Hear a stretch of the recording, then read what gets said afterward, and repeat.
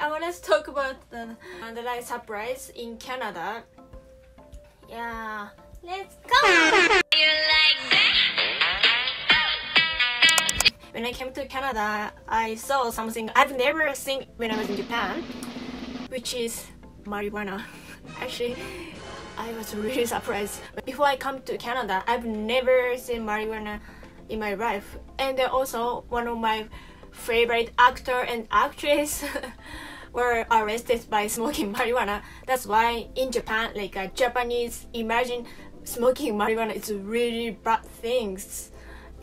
Yeah, when I saw marijuana in Canada, like I text my friend like, oh my god, I saw marijuana. I'm so worried about, and my Japanese friend who live in Japan, and they say, oh my god, you live such a dangerous country.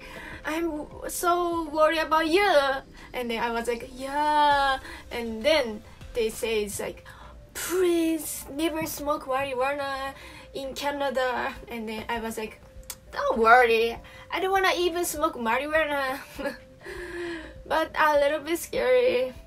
And I think 90% of Japanese people have never seen marijuana things. And also, like, uh, also they don't even know how it looks like marijuana. Yeah, it's really surprised, right? And but I really love Canada, so that's why I don't wanna say something rude about Canada but I just wanna tell you guys it just surprised when I saw marijuana for, for the first time. That's it.